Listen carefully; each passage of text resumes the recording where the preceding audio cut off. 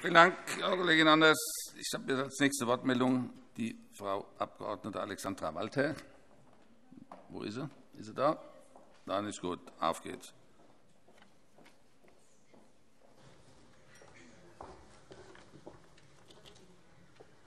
Herr Präsident, meine Damen und Herren! Eine selbstbestimmte und würdevolle Geburt sollte das Ideal sein. Leider sieht die Realität in vielen Geburtskliniken anders aus, auch in Hessen. Verschiedene Reportagen über Gewalt unter der Geburt erzeugten eine große Resonanz. Es sind eben keine Einzelfälle. Geschätzt machen 50% aller Gebärenden Gewalterfahrungen im Kreissaal. Frauen erleben physische und psychische Gewalt. Sie werden festgehalten, festgeschnallt, aufgerissen, aufgeschnitten, angeschrien, ausgelacht, beleidigt, beschimpft, bedroht und genötigt. Sie müssen auf dem Rücken liegen und dürfen sich nicht bewegen oder die Geburtsposition wechseln. Sie erhalten Medikamente und erleben schmerzhafte Untersuchungen, ohne Aufklärung, ohne Einverständnis und meist ohne medizinische Notwendigkeit. Und nein, es sind nicht nur Männer, die Gebärenden Gewalt zufügen. Frauen sind in der Geburtshilfe in der Überzahl. Der Beruf des Entbindungspflegers ist noch immer eine Ausnahmeerscheinung. Die Gewalt geht also nicht nur von Ärzten, sondern auch von Ärztinnen, Hebammen und Krankenschwestern aus. Gebärende haben in dieser Situation keine Chance. Sie sind kaum verhandlungsfähig und vollkommen ausgeliefert. Betroffene bezeichnen ihre Erfahrungen im Kreissaal als Vergewaltigung. Besser kann man den Machtmissbrauch durch medizinisches Personal nicht beschreiben. Dauerstress, verursacht durch strukturelle Schwächen, ist einer gesunden Geburt nicht zuträglich. Fehlende Raumkapazitäten, Kreissaalschließungen, Personalmangel, Hebammenversorgung aufgrund der Haftungsproblematik. Die Geburtshilfe ist defizitär. Hinzu kommt der finanzielle Druck. Eine interventionsfreie Geburt lohnt sich für die Kliniken wirtschaftlich nicht. Das Gesundheitssystem setzt hier völlig falsche Anreize. Die Klinikreform von 2016 scheint die Kreissäle vergessen zu haben. Der Skandal ist, dass sich die Gewalt im Kreissaal nicht nur gegen die Frauen richtet. Bei einer Geburt sind immer Mutter und Kind gleichzeitig betroffen. Gewalt wird gegen die Schwächsten ausgeübt, gegen Neugeborene. Mütter werden traumatisiert nach Hause entlassen, ohne psychologische Betreuung. Still- und Bindungsprobleme sind die Folgen, der Horror im Wochenbett. Seit 2014 ist Gewalt in der Geburtshilfe ein Schwerpunktthema der WHO. Die Reaktionen aus der deutschen Politik sind bisher verhalten. Das Problem wird verkannt, wie Sie der Antwort auf die Petition zur Geburtshilfereform beim Deutschen Bundestag aus dem Jahre 2018 entnehmen können. Es ist nicht erwünscht, interventionsarme Geburten zu fördern, auch nicht in Hessen. Die Antworten in dieser Großen Anfrage sind ein Hohn für alle Frauen, die Gewalt im Kreißsaal erfahren mussten oder in Zukunft erfahren werden, und daher vollkommen unbrauchbar. Vielen Dank.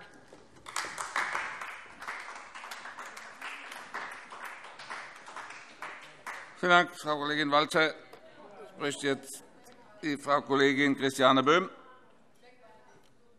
Fraktion DIE LINKE. Bitte sehr.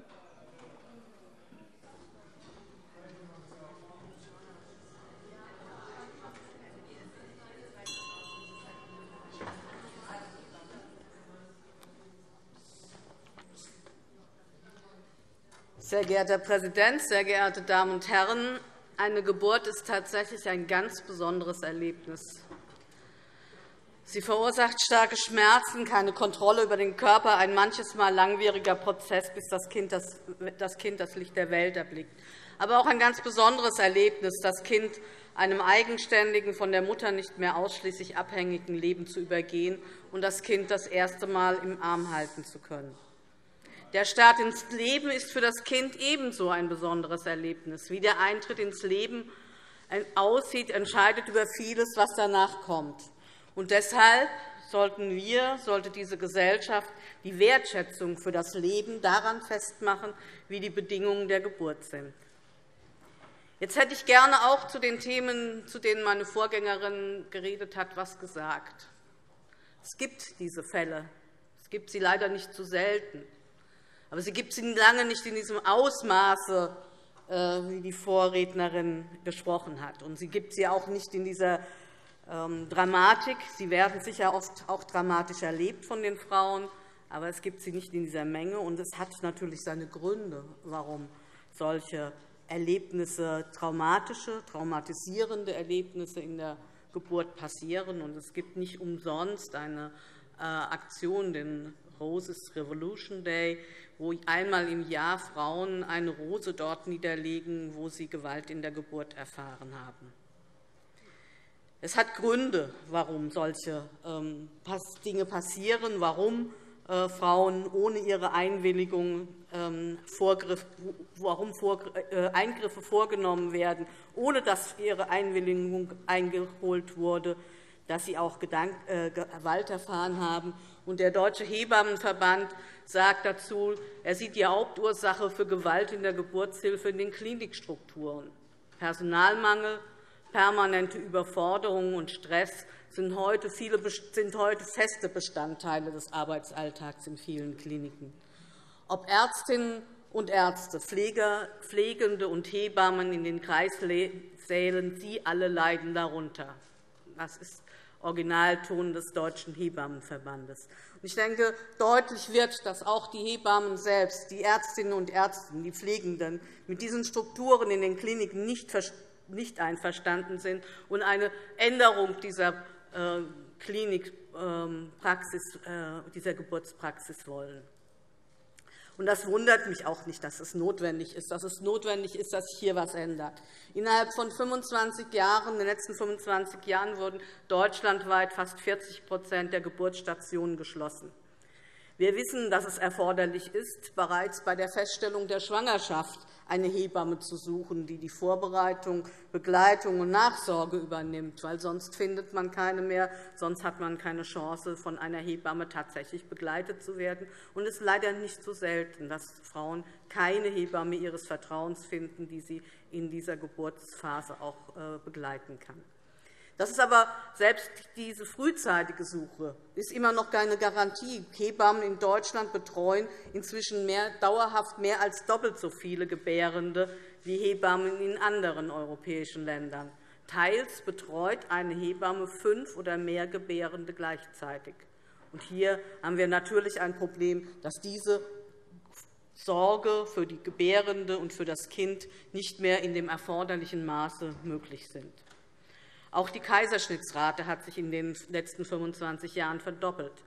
Nein, das sind nicht nur die Wünsche der Frauen, sondern auch die Planbarkeit des Geburtsablaufs und die Steuerung des Personaleinsatzes.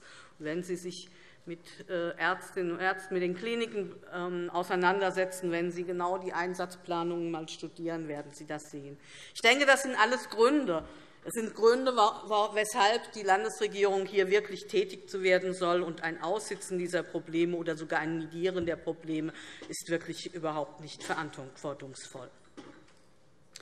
Den Fokus auf diese aktuellen Themen habe ich eigentlich erwartet bei dieser Betrachtung der Großen Anfrage. Zu den Kapiteln römisch 8, 9 oder 10 eine physiologische Geburt fördern, da wären Antworten auf die drängenden Fragen angebracht gewesen. Fragen, die von vielen gestellt werden, nicht nur von Hebammen, Gebärenden und ihren Angehörigen, Krankenhauspersonal. Nein, wir alle müssen sie uns stellen, wenn wir wollen, dass Kinder einen guten Start ins Leben bekommen. Denn eine Geburt, eine traumatische Geburt für Eltern ist auch eine traumatische Geburt für Kinder. Und äh, wir kennen vielleicht alle Erwachsene, die ihr Leben lang daran zu knappern haben, wenn sie ein äh, schlimmes Geburtserlebnis hatten. Was sagt die Landesregierung bereits in ihrer Vorbemerkung? In Hessen steht ein, äh, da ist noch eine Zwischenbemerkung von mir äh, erforderlich. Frau Dr. Sommer hat mich darauf hingewiesen. Frau Funken hat gesagt, die große Anfrage wäre jetzt während der Zeit der Corona-Krise mal schnell mal schnell auf den Weg gebracht worden. Die wurde ja vor Coronas Ausbrüchen, starken Ausbrüchen schon veröffentlicht, und die Fragen wurden, festgestellt, äh, wurden gestellt 2019. Also damit hat sie gar nichts zu tun. Ich denke, äh, den Zusammenhang kann man tatsächlich überhaupt nicht herbeiführen. Die Landesregierung behauptet oder sagt in ihrer, Antwort, dass es ein flächendeckendes System von Schwangerschaftsberatungsstellen, Frauenärztinnen und Ärzten, Hebammen, Geburtskliniken sowie frühen Hilfen zur Verfügung steht. Lassen Sie uns das einmal überprüfen. Flächendeckend sind einigermaßen die Schwangerschaftsberatungsstellen, auch wenn beispielsweise bei uns in Groß-Gerau die Stelle noch einen weiteren Landkreis mit abdecken muss. Das gilt, ist nicht sicher keine Ausnahme. Und es hakt auch bei der Finanzierung der Schwangerschaftsberatungsstellen. Das wissen wir, dass sie ihre Mitarbeiterinnen nicht so bezahlen äh, können, damit die auch hinterher in eine gute Rente gehen können. Auch gerade zu Corona-Zeiten hakt es. Hier sind, fallen unheimlich viele Einnahmen aus dem Bereich weg, und Sie haben große Probleme, Ihre Aufgaben zu finanzieren. Gut, aber jetzt gehen wir weiter. Hebammen. Sie kennen doch die Landkarte des, Hebammen, des Hessischen Hebammenverbandes. Sie wissen doch, wie viele Eltern erfolglos äh, Hebammen gesucht haben und keine gefunden haben oder sehr, sehr lange unterwegs waren, ewig Hebammen angefragt haben. Und jeder muss doch wissen, dass die, Situation, dass die Arbeitssituation von Hebammen äußerst prekär ist. Hier kann man nicht mehr von einer flächendeckenden und einer zufriedenstellenden Abdeckung und Versorgung reden. Geburtsstationen werden eine nach der anderen abgebaut. Unter 1.000 Geburten müssen sie aus dem Krankenhaus querfinanziert werden. Somit entscheiden sich ganz viele Kliniken die nicht, wo die Träger nicht gewillt oder auch nicht in der Lage sind, diese Defizite abzutragen, diese, diese Geburtsstationen zu schließen. Und die Landesregierung und namentlich auch der Sozialminister, auch der ist sein Vorgänger schon, sieht sich überhaupt nicht in der Verantwortung für eine flächendeckende Geburtshilfe. Sie verweisen nicht nur beim Abbau von Stationen und Angeboten auf die alleinige Verantwortung der Kliniken, hier in dieser großen Antworten, auch bei dem notwendigen Ausbau von Familienzimmer ist das alles nur Klinikangelegenheit. Aber nicht nur ich, sondern alle Eltern und Hebammen und alle an der Geburt Beteiligten erwarten von dieser Landesregierung, dass sie hier ihre Planungs- und Versorgungsaufgabe endlich ernst nimmt.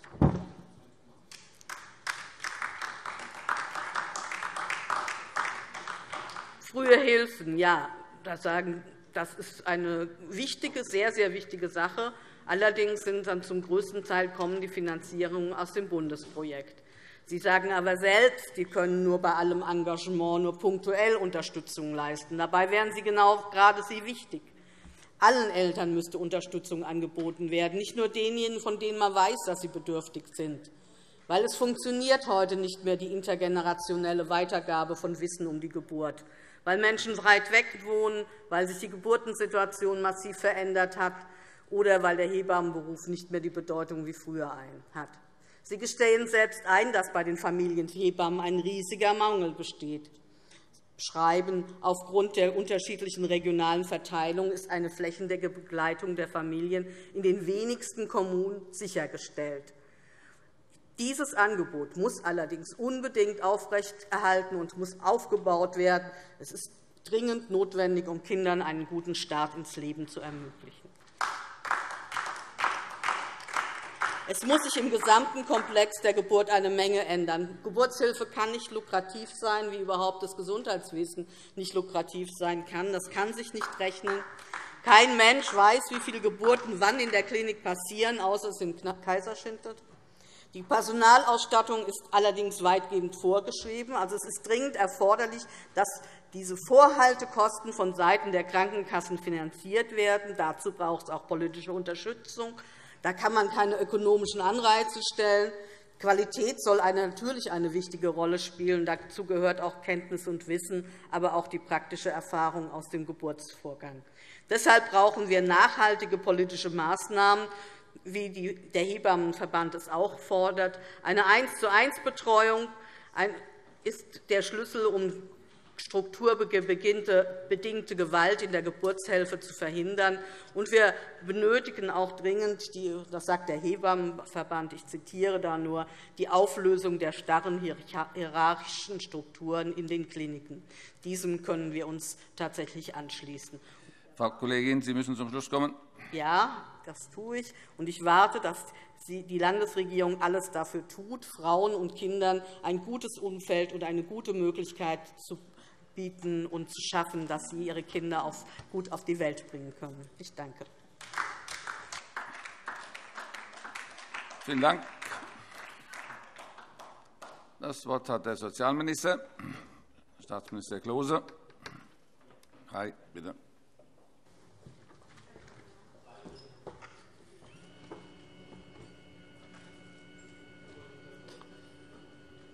Herr Präsident, meine Damen und Herren! Schwangerschaft, Geburt und das Leben mit einem Neugeborenen das sind ganz besondere Lebensphasen für junge Familien. Einige der Vorrednerinnen haben uns ja durchaus auch ähm, persönliche Einblicke zuteilwerden lassen. Dafür will ich mich ganz herzlich bedanken. Alle Eltern wünschen sich, dass ihr Kind wohlbehalten das Licht der Welt erblickt, und sie wollen alles dafür tun, damit gerade in den ersten Wochen ein gutes Aufwachsen möglich ist.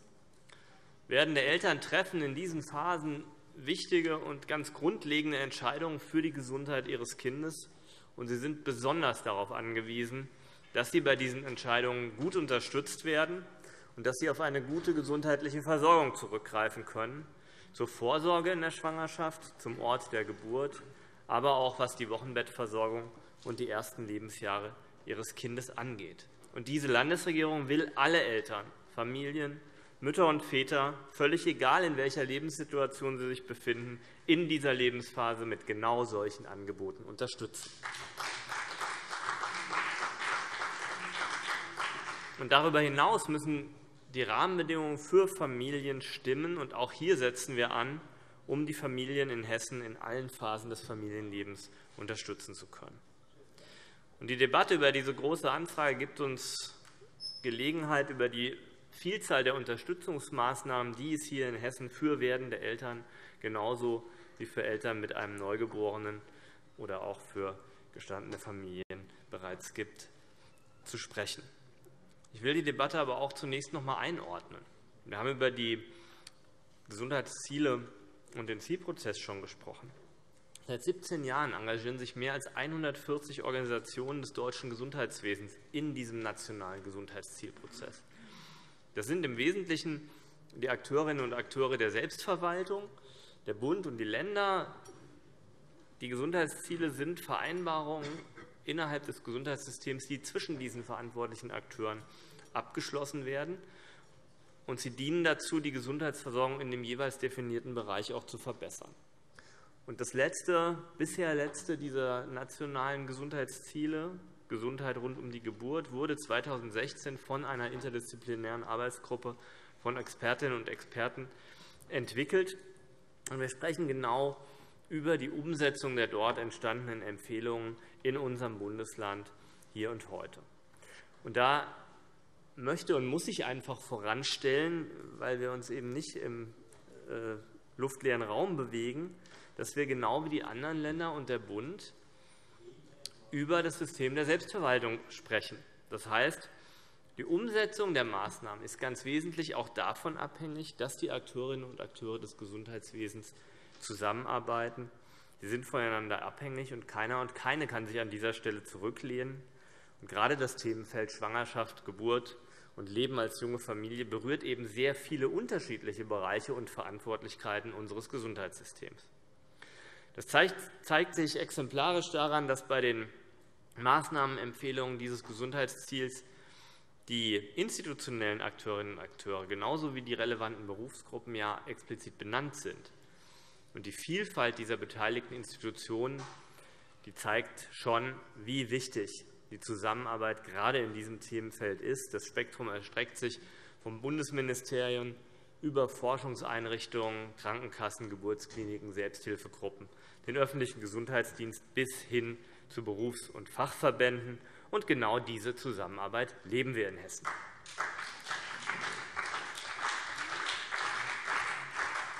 Wir leben sie beispielsweise beim ersten und zweiten Themenfeld des Ziels Schwangerschaft und Geburt. Im letzten Jahr, mehrfach jetzt erwähnt, hat sich in Hessen, manche mögen sagen endlich, der runde Tisch Zukunftsprogramm Hebammen- und Geburtshilfe konstituiert. Und genau in diesem Gremium findet die eben beschriebene Zusammenarbeit statt. Da kommen all die Akteurinnen und Akteure dieses Themenfelds zusammen, um gemeinsam an möglichst guten Lösungen zu arbeiten. Und natürlich sind die Interessenlagen durchaus unterschiedlich. Aber das Entscheidende ist, es findet ein kontinuierlicher Austausch statt, und genau dafür ist ein runder Tisch ja da. Und ein Beispiel dafür, wie das konkret passiert, ist der Umgang mit dem Gutachten zur Hebammenversorgung. Ja, dieses Gutachten wurde im Jahr 2018 beauftragt, um mehr über die Versorgungslage mit Hebammen und Geburtshilfe in Hessen zu erfahren. Und das Ergebnis dieses Gutachtens, das sich etwas verzögert hat, auch darüber haben wir hier schon gesprochen, wird jetzt zunächst, wenn man so ein Gremium ernst nimmt, dem runden Tisch Zukunftsprogramm Geburts- und Hebammenhilfe vorgelegt, damit er die Handlungsempfehlungen bewerten kann. Und dass jetzt die Sitzung des runden Tisches, die fürs Frühjahr vorgesehen war, aufgrund von Corona verschoben werden musste, das ist nun wahrlich in niemandens Hand gewesen. Es betraf die Akteurinnen und Akteure, die eben auch zum weiten Teilen aus dem Gesundheitswesen kommen. Es betraf aber beispielsweise so banale Dinge wie Räume zu organisieren, die groß genug sind, so viele Menschen fassen zu können. Das mag Ihnen banal erscheinen, aber es gehört eben an der Stelle auch zur Wahrheit. Meine Damen und Herren, die Umsetzung dieses nationalen Gesundheitsziels Gesundheit rund um die Geburt umfasst auch die Zeit nach der Geburt, die ersten Tage und Monate im Leben eines Neugeborenen. diese Phase ist ebenso neu spannend und ereignisreich wie Schwangerschaft und Geburt es sind. auch hier steht die Landesregierung jungen Familien aktiv zur Seite. Wir flankieren die jährlichen Fördermittel der Bundesstiftung Frühe Hilfen mit eigenen Landesmitteln in Höhe von 1,8 Millionen €. Und wir verbessern so ganz konkret die Versorgung werdender und junger Eltern mit Kindern von 0 bis 3 Jahren. Und die entstandene Kooperation, die durch die frühen Hilfen befördert wurde, zwischen Kinder- und Jugendhilfe und dem Gesundheitswesen, die hilft gerade Eltern, die sich in einer schwierigen Situation befinden. Werdende Eltern und Familien erhalten aber auch durch das breite Netz der Familienzentren, der Mütterzentren und der Mehrgenerationenhäuser in Hessen wichtige Unterstützung, sowohl in ihrem Familienalltag als auch bei der Vorbereitung auf die Geburt. Das sind genau diese Einrichtungen, die eine breite Palette von Angeboten Beratung und wohnortnahe Unterstützung bieten. Und sie tragen dazu bei, Familien zu stärken und ihre Selbsthilfepotenziale zu entfalten. Prävention, Gesundheitsförderung sind gerade während der Schwangerschaft und der frühen Kindheit von großer Bedeutung. Dass ein gesunder Lebensstil in der frühen Kindheit längst ein Schlüsselfaktor ist, um vielen verhaltensbedingten Erkrankungen vorzubeugen, beispielsweise auch Adipositas, Herz-Kreislauf-Erkrankungen oder Typ-2-Diabetes, wissen wir seit Langem. Und da hat Hessen als einziges Bundesland äh, bereits 2008 die Teilnahme an den Kindervorsorgeuntersuchungen U1 bis U9 verpflichtend eingeführt. Und auch diese Untersuchungen tragen dazu bei, dass frühzeitig auffällige Entwicklungsverzögerungen erkannt und entsprechend behandelt werden können. Und auch hier leisten wir einen entscheidenden Beitrag für ein gesundes Aufwachsen aller hessischen Kinder. Und schließlich auch die Suchtprävention spielt in der Schwangerschaft und rund um die Geburt eine wichtige Rolle. Auch das haben verschiedene Vorrednerinnen schon angesprochen. Denn Alkoholkonsum während der Schwangerschaft hat nun einmal ganz erhebliche Auswirkungen auf die Gesundheit eines ungeborenen Kindes. Und obwohl diese Schädigungen vermeidbar sind, werden in Deutschland nach Schätzungen des Bundesgesundheitsministeriums jedes Jahr, weiterhin jedes Jahr, mehr als 10.000 Kinder mit fetalen Alkoholschäden geboren. Deshalb ist es mir auch persönlich wichtig, die notwendige Aufklärungs- und Präventionsarbeit zu unterstützen und voranzutreiben beispielsweise durch die Übernahme der Schirmherrschaft äh, des Projekts Happy Baby No Alcohol. Darüber hinaus informieren auch die Einrichtungen der Hessischen Suchthilfe landesweit über die Risiken von Alkoholkonsum in der Schwangerschaft.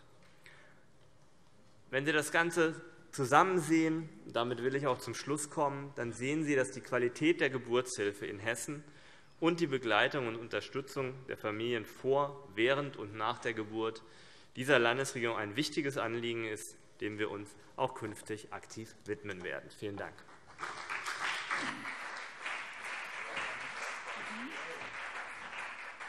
Herr Minister, vielen Dank. Keine weiteren Wortmeldungen mehr. Damit ist diese Große Anfrage